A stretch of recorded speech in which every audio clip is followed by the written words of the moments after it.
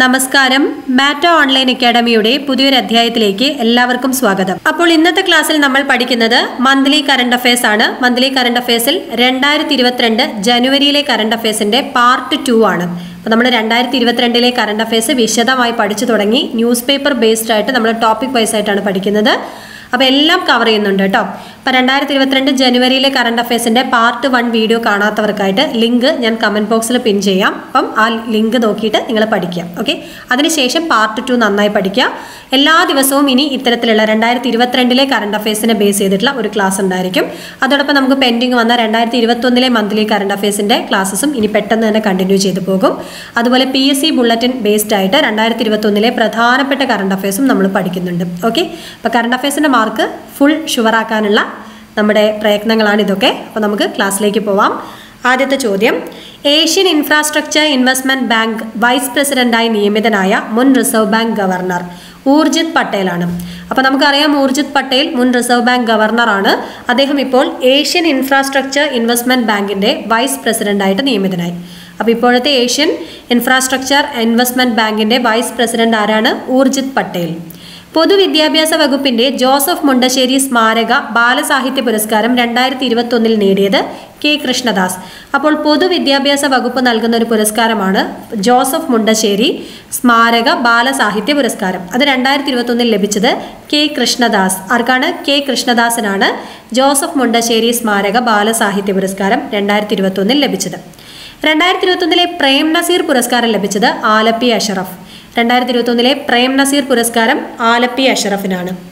National statistical office report പ്രകാരം രണ്ടായിരത്തി ഇരുപത്തൊന്ന് രണ്ടായിരത്തി ഇരുപത്തിരണ്ട് വർഷത്തിലെ ഇന്ത്യയുടെ ജി ഡി പി വളർച്ചാ നിരക്ക് നയൻ പോയിന്റ് ടു പെർസെന്റേജ് അപ്പം ശ്രദ്ധിക്കണം സ്റ്റാറ്റിസ്റ്റിക്കൽ നാഷണൽ സ്റ്റാറ്റിസ്റ്റിക്കൽ ഓഫീസിന്റെ റിപ്പോർട്ട് പ്രകാരമാണ് കേട്ടോ. നാഷണൽ സ്റ്റാറ്റിസ്റ്റിക്കൽ ഓഫീസിന്റെ റിപ്പോർട്ട് പ്രകാരമാണ് നയൻ പോയിന്റ് ടു പെർസെന്റേജ് ഇന്ത്യയുടെ രണ്ടായിരത്തി ഇരുപത്തൊന്ന് രണ്ടായിരത്തി ഇരുപത്തിരണ്ട് വർഷത്തെ G D P growth rate nine point two percentage ഇനി ഇതേ കാര്യം തന്നെ ലോക ബാങ്കിന്റെ റിപ്പോർട്ട് പ്രകാരം രണ്ടായിരത്തി ഇരുപത്തൊന്ന് രണ്ടായിരത്തി ഇരുപത്തിരണ്ട് വർഷത്തെ ഇന്ത്യയുടെ ജി ഡി പി വളർച്ചാ നിരക്ക് എയ്റ്റ് പോയിന്റ് ത്രീ പെർസെന്റേജാണ് അപ്പോൾ ലോക ബാങ്കിന്റെ കണക്ക് പ്രകാരം കുറച്ച് കുറവാണ് എയ്റ്റ് പോയിന്റ് ത്രീ പെർസെന്റേജ് ആണ്. ഇനി ഇന്ത്യയുടെ ധനകാര്യ മന്ത്രാലയത്തിന്റെ സാമ്പത്തിക സർവേ അനുസരിച്ചിട്ട് രണ്ടായിരത്തി ഇരുപത്തൊന്ന് രണ്ടായിരത്തി ഇരുപത്തിരണ്ട് വർഷത്തിലെ പ്രതീക്ഷിത ജി ഡി പി വളർച്ചാ നിരക്ക് പതിനൊന്ന് ശതമാനമായിരുന്നു. അപ്പോൾ ധനകാര്യ മന്ത്രാലയത്തിന്റെ സർവേ അനുസരിച്ചിട്ട് പ്രതീക്ഷിത ജി ഡി പി വളർച്ചാ നിരക്ക് പതിനൊന്ന് ശതമാനമായിരുന്നു. ലോകബാങ്കിന്റെ റിപ്പോർട്ട് പ്രകാരം എത്രയാണ്? Eight point three. National statistical ഓഫീസിന്റെ റിപ്പോർട്ട് പ്രകാരം നയൻ പോയിന്റ് ടു. ഓക്കെ അപ്പൊ നമുക്ക് അടുത്ത ചോദ്യത്തിലേക്ക് പോവാം. ഇന്ത്യയിലെ ഏറ്റവും മികച്ച ഓൺലൈൻ എഡ്യൂക്കേഷൻ പ്ലാറ്റ്ഫോമായ അൺ അക്കാഡമിയിൽ ഇനി വരാൻ പോകുന്ന കേരള അഡ്മിനിസ്ട്രേറ്റീവ് സർവീസ് പരീക്ഷയ്ക്ക് പ്രിപ്പയർ ചെയ്യുന്ന ഉദ്യോഗാർത്ഥികൾക്കായിട്ട് ഒരു ഫ്രീ കോമ്പാറ്റ് ടെസ്റ്റ് ഫെബ്രുവരി ഇരുപതിന് ഉച്ചയ്ക്ക് പന്ത്രണ്ട് മണിക്ക് നടക്കുന്നുണ്ട്.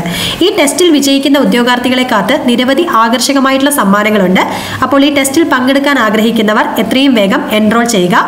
അതുപോലെ അൺ അക്കാഡമിയിൽ നിരവധി ബാച്ച് കോഴ്സുകളും അവൈലബിൾ ആണ്. ദൗത്യം എന്ന പേരിൽ ഒരു ടു ഹൺഡ്രഡ് ഡേയ്സിന്റെ ബാച്ച് കോഴ്സും വൺ ഫിഫ്റ്റി ഡേയ്സിന്റെ ബാച്ച് കോഴ്സും ഡിഗ്രി ലെവൽ മെയിൻസ് പരീക്ഷയ്ക്കായിട്ട് ആരംഭിച്ചിട്ടുണ്ട്.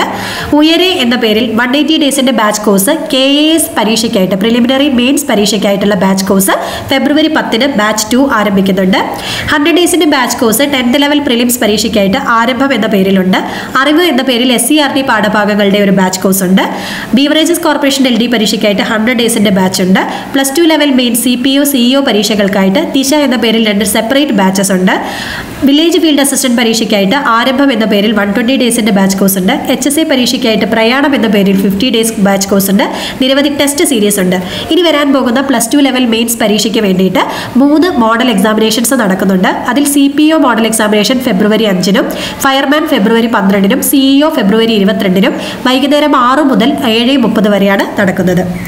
അതുപോലെ എസ് സി ആർ ടി പാഠഭാഗങ്ങൾ ബേസ് ചെയ്തുകൊണ്ടുള്ള ഒരു ഫ്രീ ടെസ്റ്റ് ചാമ്പ്യൻഷിപ്പ് നടക്കുന്നുണ്ട്. ഇതിൽ വിജയിക്കുന്ന ഉദ്യോഗാർത്ഥികൾക്ക് സ്കോളർഷിപ്പ് ലഭ്യമാണ്. ഫെബ്രുവരി പതിമൂന്നിന് രാത്രി എട്ട് മണി മുതൽ ഒമ്പതേ കാൽ വരെയാണ് ഈ സ്കോളർഷിപ്പ് ടെസ്റ്റ് ഉള്ളത്. ഒന്നാം റാങ്ക് ലഭിക്കുന്ന ആൾക്ക് ഒരു വർഷത്തെ അൺ അക്കാഡമി സബ്സ്ക്രിപ്ഷനും രണ്ട് മുതൽ അഞ്ച് വരെ റാങ്ക് ലഭിക്കുന്ന ആൾക്കാർക്ക് എഴുപത്തഞ്ച് ശതമാനം സ്കോളർഷിപ്പും ആറ് മുതൽ പത്ത് വരെ റാങ്ക് ലഭിക്കുന്ന ആൾക്കാർക്ക് ഫിഫ്റ്റി പെർസെന്റേജ് സ്കോളർഷിപ്പും ലഭ്യമാകുന്നതാണ്. അൺ അക്കാഡമി പ്ലസിന് നിരവധി ഫീച്ചേഴ്സ് ഉണ്ട്. കംപ്ലീറ്റ് സിലബസ് കവറേജ് ആണ്. എല്ലാ ടോപ്പിക്സിന്റെയും പി ഡി എഫ് നോട്ട്സ് നിങ്ങൾക്ക് അവൈലബിൾ ആയിരിക്കും. റെഗുലർ ഡൗട്ട് ക്ലിയറിംഗ് സെഷൻസ് ഉണ്ട്. നിരവധി ടെസ്റ്റ് സീരീസ് മോക്ക് ടെസ്റ്റുകൾ തുടങ്ങിയവയെല്ലാം അവൈലബിൾ ആണ്. അൺ അക്കാഡമിയിലെ വിവിധ കോഴ്സുകളുടെ ഫീസാണ് ഈ ഫീസിലൊക്കെ പത്ത് ശതമാനം ഡിസ്കൗണ്ട് ലഭിക്കാൻ വേണ്ടി നമ്മുടെ referral കോഡായ M O A ten use ചെയ്യുക. ഇപ്പോൾ ഫെബ്രുവരിയിൽ ഒരു എക്സ്ട്രാ ഓഫർ കൂടിയുണ്ട്. പന്ത്രണ്ട് മാസത്തെ സബ്സ്ക്രിപ്ഷൻ എടുക്കുന്നവർക്ക് രണ്ട് മാസം കൂടി എക്സ്ട്രാ സബ്സ്ക്രിപ്ഷൻ ലഭ്യമാണ്. അപ്പോൾ അൺ അക്കാഡമിയിൽ ജോയിൻ ചെയ്ത് പഠിക്കാൻ ആഗ്രഹിക്കുന്നവർ ഡിസ്ക്രിപ്ഷൻ ബോക്സിൽ നൽകിയിരിക്കുന്ന സബ്സ്ക്രിപ്ഷൻ ലിങ്ക് ക്ലിക്ക് ചെയ്ത് നമ്മുടെ റഫറൽ കോഡ് യൂസ് ചെയ്ത് ജോയിൻ ചെയ്യുക. സുരക്ഷാ കാരണങ്ങളാൽ സ്വിറ്റ്സർലൻഡിൽ സൈനികർക്ക് വാട്സപ്പിന് പകരം ഉപയോഗിക്കാൻ അനുവാദം നൽകിയ ആപ്ലിക്കേഷനാണ് ത്രീമ. അപ്പോൾ സുരക്ഷാ കാരണങ്ങളാൽ സ്വിറ്റ്സർലൻഡിൽ സൈനികർക്ക് വാട്സാപ്പിന് പകരം ഇപ്പോൾ ഉപയോഗിക്കാൻ വേണ്ടി രാജ്യം പെർമിഷൻ നൽകിയത് ത്രീമ. ഏത് ആപ്ലിക്കേഷനാണ്? ത്രീമ. സംസ്ഥാന വനിതാ വികസന കോർപ്പറേഷന്റെ ചെയർപേഴ്സൺ കെ സി റോസക്കുട്ടി. സംസ്ഥാന വനിതാ വികസന കോർപ്പറേഷന്റെ ഇപ്പോഴത്തെ ചെയർപേഴ്സൺ ആരാണ്? K C Rosakutty. ആരാണ്? K C Rosakutty. രണ്ടായിരത്തി ഇരുപത്തൊന്നിലെ ഓടക്കുഴൽ പുരസ്കാര ജേതാവ് ആരാണ്? Sara Joseph. സാറ ജോസഫിന്റെ ഏത് കൃതിക്കാണ് രണ്ടായിരത്തി ഇരുപത്തൊന്നിലെ ഓടക്കുഴൽ പുരസ്കാരം ലഭിച്ചത്? ബുദ്ധിനി അപ്പം രണ്ടും ഓർത്തു വെക്കണേ. രണ്ടായിരത്തി ഇരുപത്തൊന്നിലെ ഓടക്കുഴൽ പുരസ്കാര ജേതാവ് Sara ജോസഫാണ്.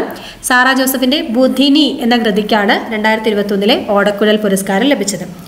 U S India business council പ്രസിഡന്റായി നിയമിതനായത് Atul Keshap India U S business കൗൺസിലിന്റെ ഇപ്പോഴത്തെ പ്രസിഡന്റ് അതുൽ കേശബ് ആരാണ്?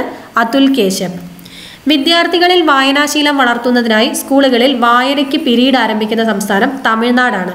വിദ്യാർത്ഥികളിൽ വായനാശീലം വളർത്തുന്നതിന്റെ ഭാഗമായിട്ട് സ്കൂളുകളിൽ വായനയ്ക്ക് വേണ്ടി സെപ്പറേറ്റ് പിരീഡ് നടപ്പിലാക്കുന്നത് Tamil Nadu. I S R human space flight സെന്ററിന്റെ director S Unnikrishnan. I S R human space flight സെന്ററിന്റെ director S Unnikrishnan.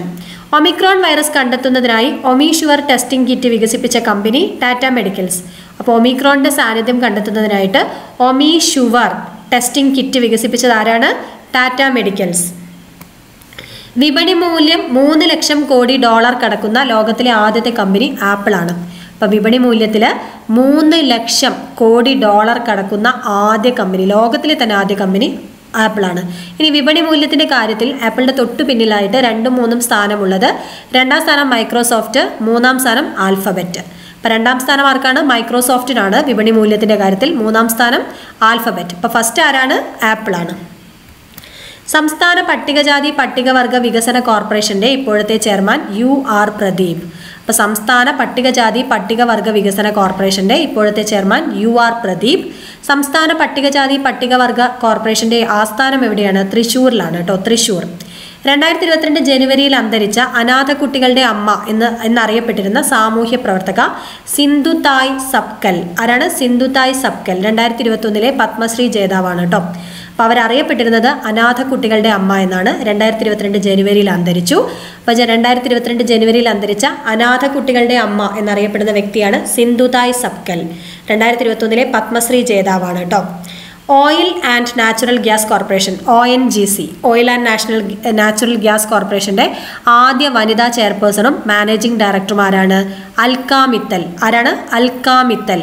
അപ്പോൾ ഒ എൻ ജി സിയുടെ ആദ്യ വനിതാ ചെയർമാനും അതുപോലെ മാനേജിംഗ് ഡയറക്ടറുമായ വ്യക്തിയാണ് അൽക്ക മിത്തൽ. ദക്ഷിണ ധ്രുവത്തിലേക്ക് ഒറ്റയ്ക്ക് ട്രക്ക് ചെയ്യുന്ന ആദ്യ ഇന്ത്യൻ വംശജ ഹർപ്രീത് ചാന്തി. ദക്ഷിണ ധ്രുവത്തിലേക്ക് ഒറ്റയ്ക്ക് ട്രക്ക് ചെയ്യുന്ന ആദ്യത്തെ ഇന്ത്യൻ വംശജയാണ് ഹർപ്രീത് ചാന്തി. അപ്പോൾ നമ്മൾ ഇത്രയും ചോദ്യങ്ങളാണ് ഇന്ന് ഡിസ്കസ് ചെയ്യുന്നത്. നമുക്ക് എല്ലാ ചോദ്യങ്ങളും ഒരു തവണ കൂടി ഒന്ന് റിവൈസ് ചെയ്തിട്ട് വരാം. ഓക്കെ അപ്പോൾ ഒന്നാമത്തെ ചോദ്യം. Asian infrastructure investment bank vice പ്രസിഡന്റായി നിയമിതനായ മുൻ reserve bank governor Urjit Patel. പൊതുവിദ്യാഭ്യാസ വകുപ്പിന്റെ ജോസഫ് മുണ്ടശ്ശേരി സ്മാരക ബാലസാഹിത്യ പുരസ്കാരം രണ്ടായിരത്തി ഇരുപത്തൊന്നിൽ ലഭിച്ചത് കെ കൃഷ്ണദാസ്. രണ്ടായിരത്തി ഇരുപത്തൊന്നിലെ പ്രേം നസീർ പുരസ്കാര ജേതാവ് Alleppey Ashraf. National statistical office report പ്രകാരം രണ്ടായിരത്തി ഇരുപത്തൊന്ന് രണ്ടായിരത്തി ഇരുപത്തിരണ്ട് വർഷത്തെ ഇന്ത്യയുടെ ജി ഡി പി വളർച്ചാ നിരക്ക് നയൻ പോയിന്റ് ടു പെർസെന്റേജ് ലോകബാങ്കിന്റെ കണക്ക് പ്രകാരം ഇന്ത്യയുടെ ജി ഡി പി വളർച്ചാ നിരക്ക് എത്രയാണ്? എയ്റ്റ് പോയിന്റ് ത്രീ പെർസെന്റേജ് ധനകാര്യ മന്ത്രാലയത്തിന്റെ സാമ്പത്തിക സർവേ പ്രകാരം എത്രയാണ്? പ്രതീക്ഷിത ജി ഡി പി വളർച്ചാ നിരക്ക് പതിനൊന്ന് ശതമാനമാണ്. സുരക്ഷാ കാരണങ്ങളാൽ സ്വിറ്റ്സർലൻഡിൽ സൈനികർക്ക് വാട്സപ്പിന് പകരം ഉപയോഗിക്കാൻ അനുവാദം നൽകിയ ആപ്ലിക്കേഷൻ ത്രീമ. ഏതാണ്? ത്രീമ. സംസ്ഥാന വനിതാ വികസന corporation chairperson K C Rosakutty. ആരാണ് കെ സി റോസക്കുട്ടി? രണ്ടായിരത്തി ഇരുപത്തൊന്നിലെ ഓടക്കുഴൽ അവാർഡ് ജേതാവ് സാറ ജോസഫ്. രണ്ടായിരത്തി ഇരുപത്തൊന്നിലെ ഓടക്കുഴൽ അവാർഡ് ജേതാവ് സാറ ജോസഫാണ്.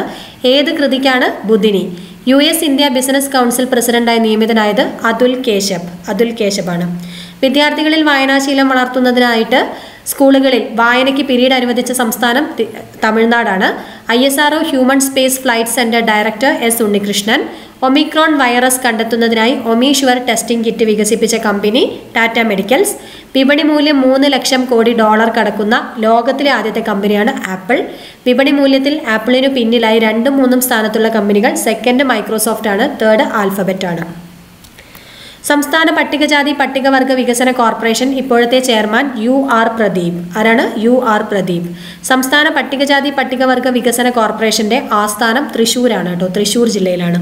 രണ്ടായിരത്തി ഇരുപത്തിരണ്ട് ജനുവരിയിൽ അന്തരിച്ച അനാഥ കുട്ടികളുടെ അമ്മ എന്നറിയപ്പെട്ടിരുന്ന സാമൂഹിക പ്രവർത്തക സിന്ധുതായ് സബ്കൽ. ആരാണ് സിന്ധുതായ് സബ്കൽ? പത്മശ്രീ ജേതാവാണ് രണ്ടായിരത്തി ഇരുപത്തൊന്നിലെ ഓയിൽ ആൻഡ് നാച്ചുറൽ ഗ്യാസ് കോർപ്പറേഷന്റെ ഒ എൻ ജി സിയുടെ ആദ്യ വനിതാ ചെയർമാനും മാനേജിംഗ് ഡയറക്ടറുമായ വ്യക്തി അൽക്കാമിത്തൽ ദക്ഷിണ ധ്രുവത്തിലേക്ക് ഒറ്റയ്ക്ക് ട്രക്ക് ചെയ്യുന്ന ആദ്യ ഇന്ത്യൻ വംശജ ഹർപ്രീത് ചാന്തി ആരാണ്? ഹർപ്രീത് ചാന്തി അപ്പോൾ ഈ ഒരു ക്ലാസ്സിൽ ഇത്രയും ചോദ്യങ്ങളാണ് നമ്മൾ പഠിക്കുന്നത്. അടുത്ത ക്ലാസ് ഉടനെ തന്നെ അപ്ലോഡ് ചെയ്യുന്നതായിരിക്കും. അടുത്ത ക്ലാസ്സിൽ നമുക്ക് ബാക്കിയുള്ള ചോദ്യങ്ങൾ കൂടി പഠിക്കാം.